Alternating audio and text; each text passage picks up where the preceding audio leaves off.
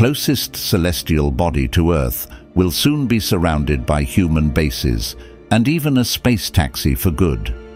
I'm talking about the Moon, our cosmic neighbor, the object we see daily in the sky. NASA plans to visit the Moon with its new space program called Artemis, a sister of Apollo in Greek mythology. This project was already launched, as the first mission of the program, Artemis 1, did a few special orbits around the Moon in December 2022. The first uncrewed integrated flight test of the Orion spacecraft. Artemis should help us explore the Moon the way it was never explored before, and we were walking on the Moon more than 50 years ago, so this time it will be something even greater. First of all, in November 2024, the second Artemis mission and the first scheduled crewed mission with astronauts on board should launch. However, we still don't know the exact date, but it should be around the end of the year. And we also know what four astronauts will represent us on a spacecraft headed to the moon. A mission commander, Reid Wiseman, who previously flew as a flight engineer aboard the International Space Station for Expedition 41 in 2014. A pilot, Victor Glover, a pilot who previously served as the pilot of SpaceX Crew 1, mission to the International Space Station as part of Expedition 64 in 2020. The first woman on the moon, mission specialist Christina Koch, a flight engineer on the International Space Station for Expeditions 59, 60 and 61. She also set a record for the longest single spaceflight by a woman with a total of 328 days in space and a mission specialist, Jeremy Hansen, a Canadian Space Agency astronaut and a fighter pilot.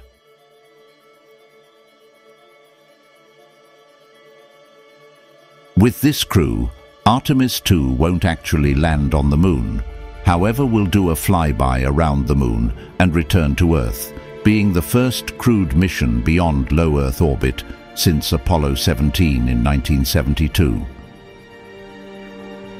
In December 2025 or later, the first crewed moon landing mission will happen as Artemis 3 will land on the south polar region of the moon, mainly because of its constant light and ice that should be on the surface. The mission would have two astronauts land on the surface of the moon for a stay of a few days. There will also be another two astronauts creating a crew of four people, two women and two men.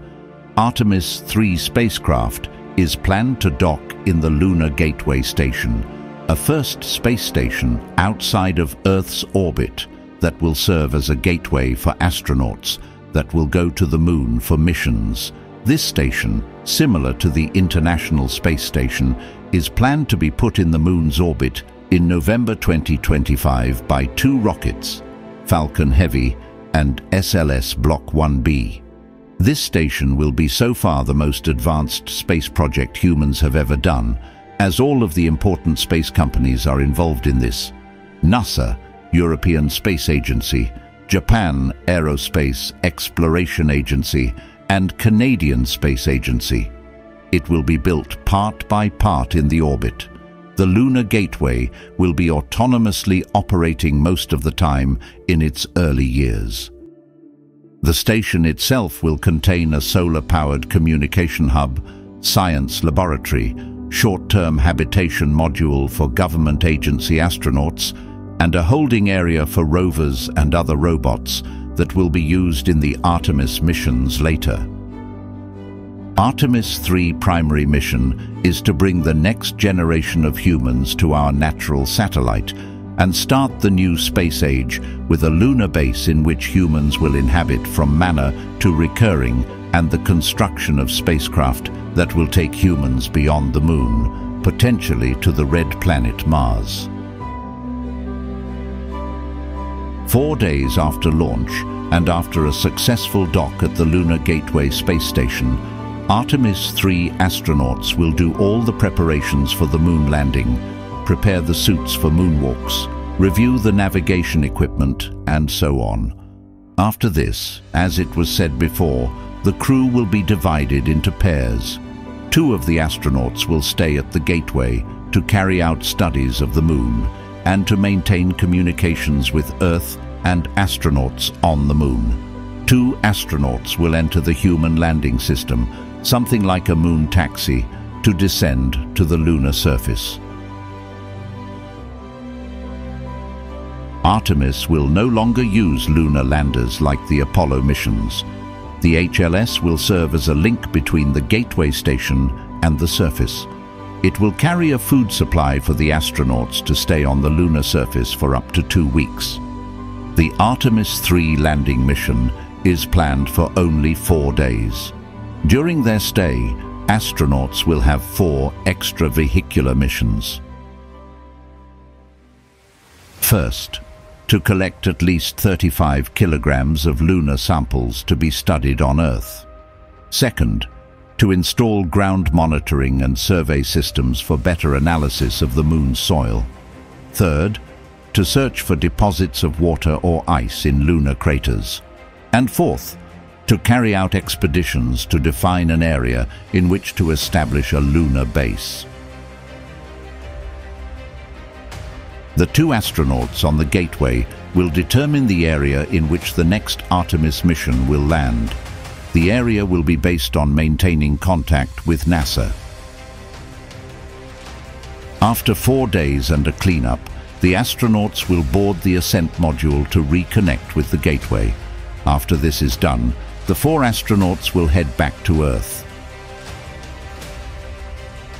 In September 2028, the second moon landing is expected to happen as Artemis 4 will leave the Earth. As this mission is further to the future than the others, we don't have exact information on what will exactly happen on Artemis 4 and 5. We only know that the main goal of Artemis 4 is an assembly of the Lunar Gateway Station. The mission will deliver a habitat module for the Gateway. NASA hasn't yet confirmed if astronauts will land on the Moon, as there will be a lot of work on the Gateway Station. However, the mission should have two astronauts to land on the lunar South Pole for six days to explore, conduct science, and do the missions. After all of this is done, the crew will head back to Earth. The last planned mission, however not the end of humans on the Moon, Artemis 5 is expected to launch on September 2029, one year after the previous mission. This mission will deliver a lunar terrain vehicle and ESPRIT, a refueling and communication module, and a robotic arm system for Gateway. After docking, two astronauts will board the lunar lander and fly it down to the surface. They will have a similar goal as Artemis 4, then return safely home. This is not the end of Artemis. These were only the planned missions, but it is expected that the Artemis program will have more missions in the future. The moon base will not be built until 2030, said NASA Associate Administrator Jim Free, however, is expected to be built even later. Thank you for watching and do not forget to subscribe.